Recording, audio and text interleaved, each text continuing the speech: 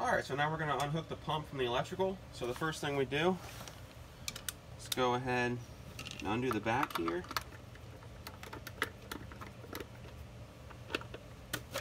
Pull this off. And again, better safe than sorry. Voltage checker.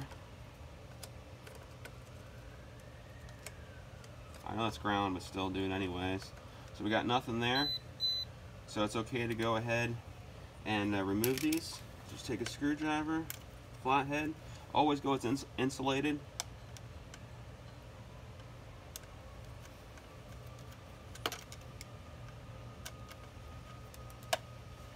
And we're replacing the pump, so we don't need to worry about the screws.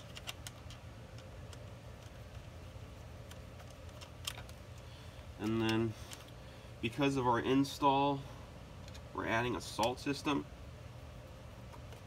So, we're gonna need more bonding wire anyway, so I'm just gonna go ahead and cut this instead of trying to mess with this corroded screw. I'll just go ahead and take wire cutters and cut that off.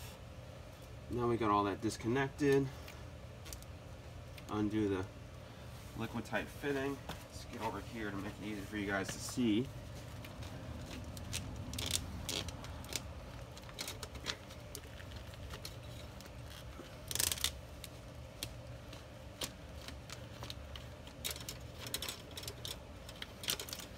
You pull that through, and that's how you undo the electrical for the pump.